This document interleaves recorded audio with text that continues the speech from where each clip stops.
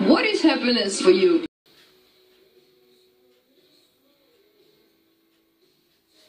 Так, это видео будет посвящено теме получения споровых отпечатков грибов. Э, Фактически не играет роли, какие это будут грибы.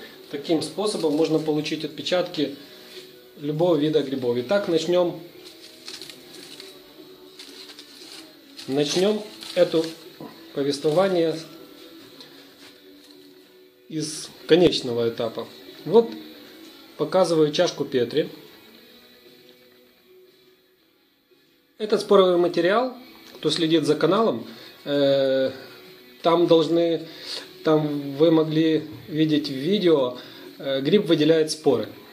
Кому-то показалось, э, кто-то там спамит канал, добавляет какие-то ненужные видео, но на этом канале не бывает ничего э, того, что не имеет смысл. Э, то есть гриб выделяет споры, там видно, как небольшой такой дымок идет из-под шапочки королевской вешенки. Имея агаровый э, агаровую среду, легким движением руки можно получить этот материал, э, споры э, непосредственно из самого гриба. Сразу скажу, что нужно делать таких посевов несколько. Несколько это означает не меньше там пяти, потому что э, из э, попыток получить этот споровый материал э, я не помню, там несколько оказалось неудачными, они были отбракованы, а вот эта чашка, здесь она вот маркирована, это получено 2.09.13. Можем видеть, что нет никакого постороннего роста, здесь видно только прорастание спор королевской вешенки. Этот материал э, можем видеть, что он не есть такой вот гомогенный, там разные росты, но это уже вопрос отдельный понимания того, э, что дальше с этим делать. А сейчас вот посмотрим, как получить самым простейшим способом э, споровые отпечатки э, грибов, которые вы бы хотели. Вот, хорошо было видно способ, как это все происходило. Ну, просто говоря, э, грибы были поставлены на сушку, и по-другому это никак не назовешь. Сейчас мы сделаем э, съемку с руки, так что более внимательно и более детально рассмотреть то, что здесь произошло. Вот этот мир спор. Специально было отобрано разные образцы Здесь видите большие шляпы. Там немножко такие поменьше. Это споровые отпечатки вешенки устричной. Давайте возьмем вот э, любой из них. Вот посмотрим на вот этот первый от нас отпечаток. Выбираем этот гриб. Вот так он выглядит. Эти грибы можно дальше или э, ну, там, куда-то использовать или сушить дальше. С ним ничего не случилось, но нас интересует вот это место.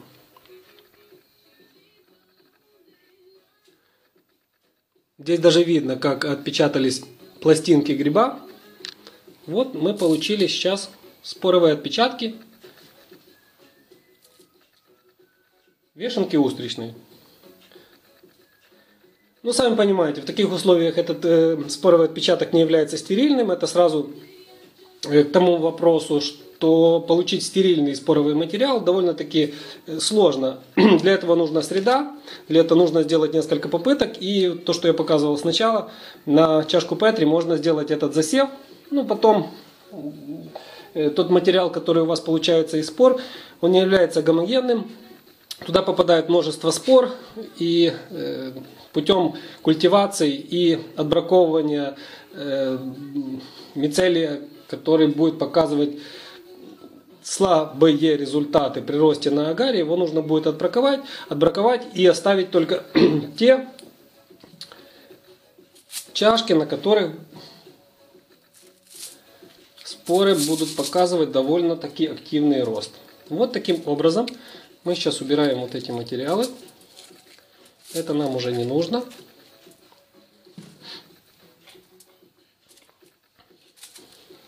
Итак, возникает вопрос, э, какой смысл вообще из получения этого спорового материала? Э, как его дальше можно использовать? Ну, во-первых, э, в принципе, теоретически его можно делать, пробовать делать посевы на питательные среды, но нужно сразу оговориться, что этот материал не является стерильным и, скорее всего, на чашке будет сразу видно, что будет появляться посторонний рост. Нужно делать дополнительные пассажи. Это очень сложная такая процедура и манипуляция. И ну, этот споровый материал, он вообще не является материалом для получения более-менее какого-то там значимого мицелия, с которым можно будет дальше работать, хотя не все совсем так. Но нас будет интересовать в этом, э, в этом процессе получения спорового материала некоторые другие моменты. Э, таким образом можно получить споровый материал любых грибов. Это могут быть белые грибы, это могут быть подосиновики, ну или что вам там будет еще интересно. В дальнейшем этот споровый материал можно перенести в то место э, или э, ну, речь идет вообще о э, смысл вот получения этого спорового материала идет о том, о выращивании микоризных грибов. Таким образом мы можем получить споровый материал и в дальнейшем его использовать для э, попыток вырастить все-таки микоризные грибы. Ну, в основном будем говорить там э, о белых грибах. Этот вопрос больше всего интересует людей логическим сразу напрашивается вопрос. А, если мы будем носить при посеве или посадке вот споровый материал, почему не внести сразу готовые грибы? На это есть вполне логическое теоретическое объяснение. То есть сам гриб, он будет источником развития посторонней инфекции, и он будет загнивать, и скорее всего эти споры в процессе гниения погибнут. Те споры, которые попали во внешнюю среду, они уже имеют э, природой так обусловленные свои механизмы э, к дальнейшему развитию, к дальнейшему росту. И таким образом, э, в дальнейшем мы можем использовать эти биологические, средства, э, биологические свойства вот этих спор в дальнейшем при посеве. О чем я хотел сказать. То есть попав во внешнюю среду, у этой споры есть капсула, она защищена от всех внешних воздействий для того, чтобы попасть в какие-то условия. И в этих условиях она будет находиться в таком спящем состоянии очень длительное время, до тех пор, пока не сложатся те обстоятельства, при которых э, будет возможность для, его, для ее прорастания.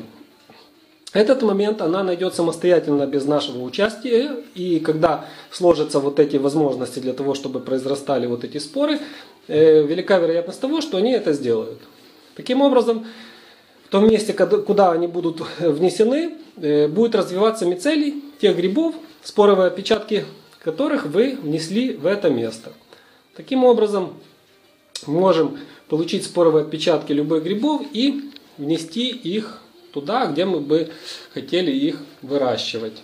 если речь идет это о микоризных грибах, то, скорее всего, если это будут отпечатки белых грибов, то их нужно будет э, поселять в те места, где растут, ну, лучше всего это березы все-таки, там быстрее всего, и они образовывают очень хорошие микоризные взаимоотношения. И вот, к примеру, что мы будем дальше делать вот с этими материалами. Э, в дальнейшем мы их будем нарезать на вот эти части отдельные отпечатки и упаковывать какую-то чистую емкость. И вот здесь можно, можем э, видеть уже есть готовые полученные споровые отпечатки.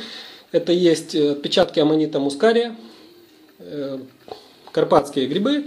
И полученные они вот тем же самым способом, который вы видите сейчас. Ну и в определенное время, это будет где-то весна, мы сделаем такую пробную посадку в природу вот этих отпечатков вот эти, на фольге. И будем наблюдать, что из этого всего произойдет. А результаты, вот если будете следить за каналом, то, скорее всего, мы будем это освещать в дальнейшем.